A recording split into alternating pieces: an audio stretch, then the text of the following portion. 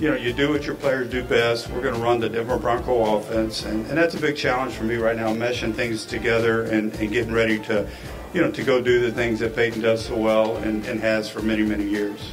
You know, I think all indications are that uh, everything that he's said and and through his conversations with John, he feels good, and, and he's had his self-assessment or however you want to uh, label that, and uh, he feels good about moving forward. So, you know, we'll just uh, continue with the process.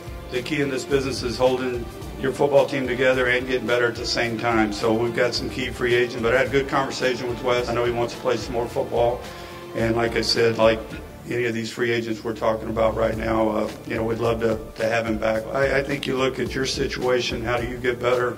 Uh, you got to stay focused on yourself. I think if you, if you're worried about everybody else are chasing one team, you're probably going to make some mistakes. So we'll stay focused on us, try to get better, uh, try to hang on to some of our guys here, try to get better in free agency, try to get better in the draft, and uh, and move forward, go to work.